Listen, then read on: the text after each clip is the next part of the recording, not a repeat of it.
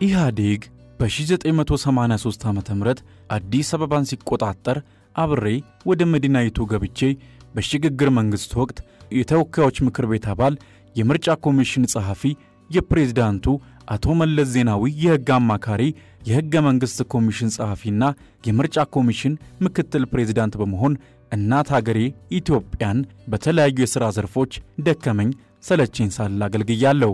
የመጀመሪያው የኢትዮጵያ ፌዴራላዊ ዲሞክራሲያዊ ሪፐብሊክ አፈ ጉባኤ ዳዊት ዮሐንስ እባላለሁ።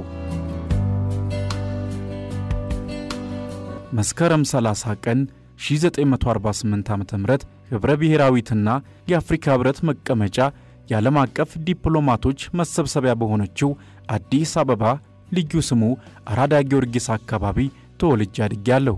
እናቴ ወይዘሮ አበበች ጥላሁን ሲባሉ በአገር ፍቅር ስሜት አንጸው በሥነ ምግባር ኮትኩተው በአባታዊ ፍቅር አሳድገው ለወግ ማዕረግ ያበቁኝ አባቴ ደግሞ ዮሐንስ አፈወርቅ ይባላሉ። ዕድሜ ለእውቀት ሸመታ ሲደርስ የአንደኛና የሁለተኛ ደረጃ ትምህርቴን በአማ ደስታና በተፈሪ መኮንን ትምህርት ቤቶች በከፍተኛ የትምህርት ተቋም የእውቀት ገበያ ጉዞዬ ደግሞ በቀዳማዊ ኃይለ ሥላሴ ዩኒቨርሲቲ የሕግ ፋክልቲ ተማሪ በመሆን ቀጥያለሁ።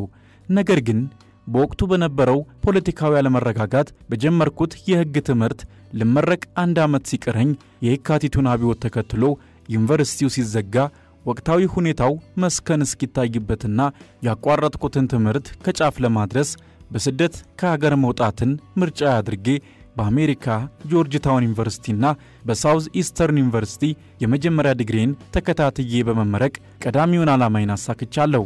ከዚያም በኋላ በዚህ ብቻ በቃኝ ብዬ እጄን አጣጥፌ ሳልቀመጥ በድጋሚ ራሴን ለከፍተኛ ትምህርት ዝግጁ በማድረግ ፊቴን ወደ አውሮፓ በማዞር በ1992 ዓ ም በኔዘርላንድ አምስተርዳም ዩኒቨርሲቲ የዓለም አቀፍ ሕግ ትምህርት በማጥናት የማስተርስ ዲግሪን ለመያዝ ብርቱ ትግል አድርጌ እንደ ኤሮፓያን አቆጣጠር በ2000 ከአምስተርዳም ዩኒቨርሲቲ በሕግ የማስትሬት ዲግሪን ተቀብያለሁ።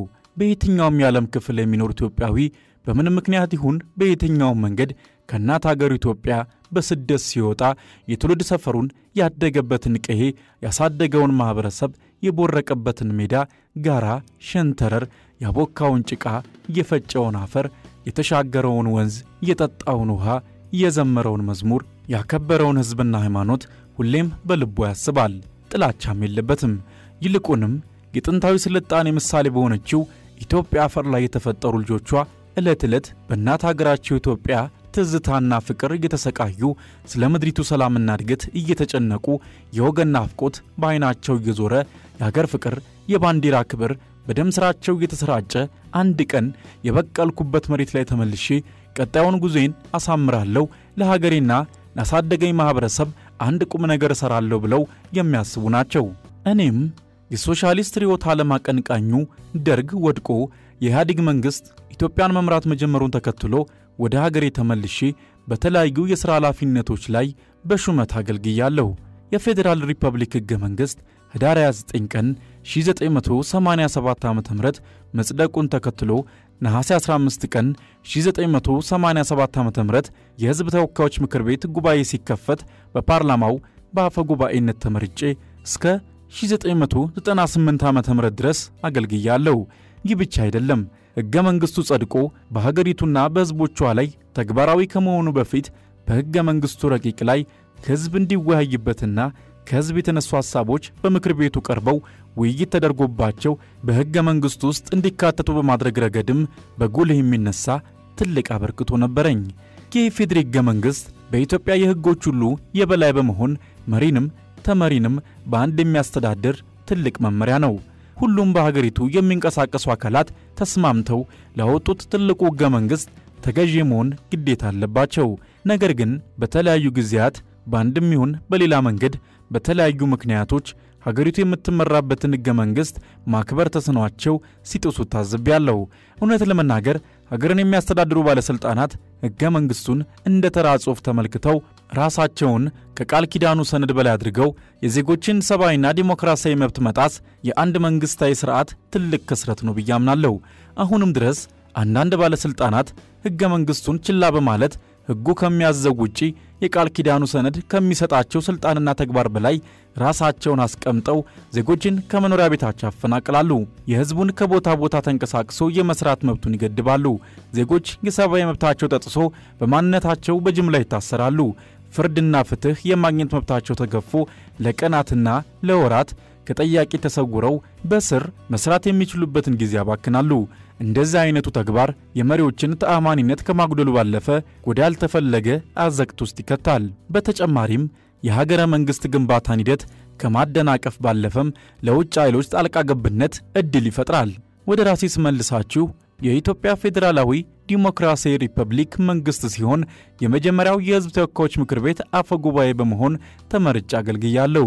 ከፓርላማ አፈ ጉባኤ መሪነቴ ባለፈ በተለያዩ የኃላፊነት ቦታዎች ማለትም የአፍሮ አረብ ፓርላማ ኅብረት ሊቀመንበር፣ የአፍሪካ ፓርላማዎች ኅብረት የሥራ አስፈጻሚ ኮሚቴ ሊቀመንበር፣ የፍትሕና የሕግ ሥርዓት ጥናት ኢንስቲትዩት የቦርድ አባል በመሆን ሰርቻለሁ።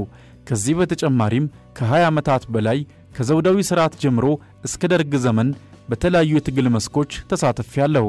በዚህ ተግባሬ በ1967 ዓ ም ቀይ ሽብርን በመሸሽ ወደ ሱዳን በስደት ተሻግሬያለሁ። ታዲያ በእኔ ድርጊት የተበሳጨ የደርግ ባለሥልጣን በመያዣነት እናቴንና መላው ቤተሰቦቼን ወደ እስር ቤት እንዲገቡ አድርጎ ነበር። በስደት ዘመኔ በፈረንሳይና ጣሊያንም ጭምር ከቆየሁ በኋላ ወደ አሜሪካ ተሻግሬ ከ15 ዓመታት በላይ ሕይወቴን በስደት መርቻለሁ። የኋላ ኋላ ግን ወደ አገር ቤት ተመልሰው ኢህአዴግን ከመሠረቱ ታጋዮች አንዱ ለመሆን በቅቻለሁ። የሕይወት ጉዞዬ በዚህ ብቻ አያበቃም። የኢትዮጵያ ኮሚኒስት ፓርቲ ኢኮፓ አባል ነበርኩ። ፓርቲያችን በአመለካከት ከያፓ ለየት የሚለው ለየት ያለ አደረጃጀት ለመያዝ በመሞከሩ ነው። ነገር ግን ዘላቂ የሆነ ሥራ መሥራት አልቻለም ነበር። አሁንም ወደ ራሴ ልመልሳችሁና ለሁለት ተከታታይ የምርጫ ዘመናት ከ1987 እስከ 1998 ዓ ም የ10 ዓመት አፈ ጉባኤ ሆኜ ከማገልገሌ ባለፈም በ1998 ዓ ም በተባበሩት መንግሥታት ድርጅት የኢትዮጵያ ቋሚ መልእክተኛና አምባሳደር ሆኜ በመሾም ለዓመታት ሰርቻለሁ። ሁላችንም የምድር ፍጥረታት ወደድንም ጠላንም ክፉም ሠራን ደግ የተቋጠረልን ጊዜ ሲያልቅ ወደማይቀረው ዓለም እንጓዛለን። ጊዜ እውነተኛ ዳኛ ነው። መሪም ሆነ ተመሪ በጊዜ ሚዛን ተመዝኖ ለፍርድ ይቀርባል። ሀገረ መንግሥታት ጊዜያቸው ሲደርስ ይከስማሉ። ትውልድ በትውልድ ይተካል። ሁሉም ያልፋል። ሥራችን ግን ጥሩም ሆነ መጥፎ ለታሪክ ይቀመጣል። ፍርዱን ደግሞ ጊዜ ይሰጣል። ታዲያ ምርጫው እኛ ነው። በቀጣዩ ትውልድ በየትኛው ሥራችን እንታወስ? ንቁ ከሆንን የምንጽፈውን ታሪክ ለማስተካከል ዛሬ ከጀመረን ጊዜ አለንና አልረፈደም እላቸዋለሁ።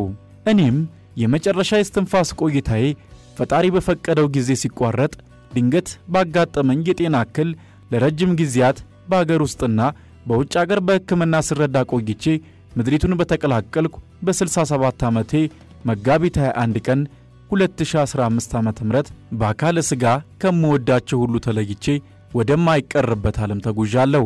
የመጀመሪያው የኢትዮጵያ ፌዴራላዊ ዲሞክራሲያዊ ሪፐብሊክ አፈ ጉባኤ ዳዊት ዮሐንስ ነበርኩ።